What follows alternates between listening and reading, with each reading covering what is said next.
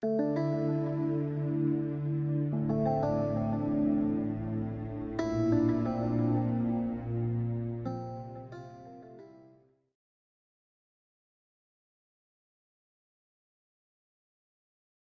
now since we've extracted the blood, we spun it down and separated it. Red blood cells, compacted red blood cells. We have protein, um, protein poor plasma, and then we have protein rich plasma. This gray area is the is the area that we want because this has all the cytokines, growth factors um, that we need to actually re-stimulate growth. Wound healing we can do, um, hair growth we can do. This can be injected in knees and joints for arthritis to try to grow, regrow cartilage, etc. So, so we're about to start the PRP procedure. We're just um, outlining the area. Here's a, a young gentleman that is starting to have some regression or some loss of hair in his temporal peaks. And we're going to do the PRP procedure today in an effort to restore it.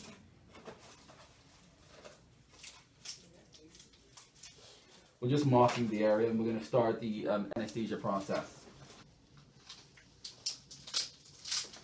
usually the worst, the first stick is the worst, and then we go into the area that we just anesthetized.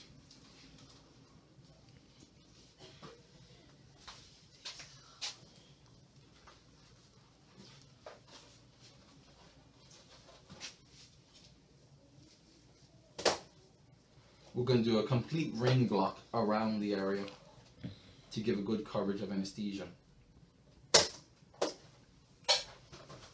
This procedure, patients can normally go right back to work. Most of our male patients go right back to work after this procedure because it really is it's not that dramatic as it may seem.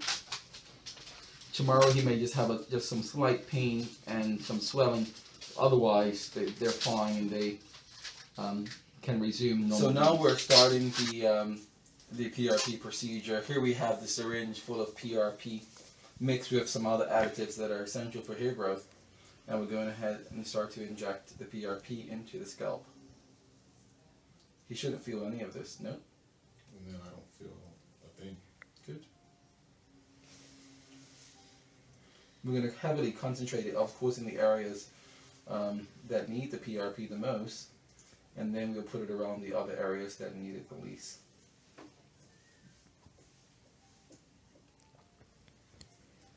So now after, since we've done the PRP, we're now going to create dermal injury because we actually want to cause injury to the hair follicular unit in order to activate those growth factors to say, okay, we've got to start to repair them and hopefully repair them normally. So the patient doesn't feel any of this procedure. You doing all right? Yeah. Good. Are you feeling any of this? No. Now we're about to do the injection of the ACell. The ACell is immunoprivileged cells from the pig's bladder. And the reason why we do this it's um, pretty much the building blocks of life, not life per se, but tissues. So it has all the growth factors and whatnot that help the area to regenerate a lot faster. So we inject this also into the scalp. You alright?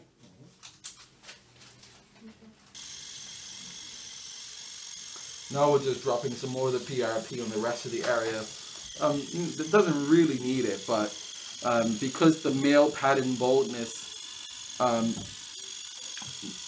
location is normally the, the top of the head, you know, we want to also start to mitigate any further losses to this particular area. Drop it all.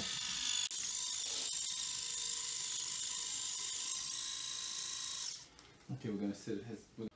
So now we're just cleaning off the area and going to get him ready for light therapy. So the procedure is now finished. But if the patient aftercare is very simple, if he has any, some more gauze please. If he has any pain, um, he can just take some Tylenol. Uh, sorry, Panadol will be preferred.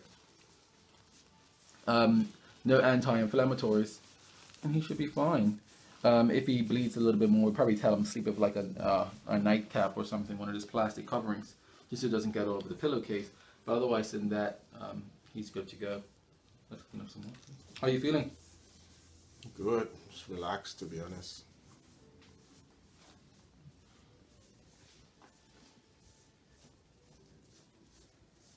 So he will sit under the laser light for about 10 to 15 minutes and then he'll be on his way home.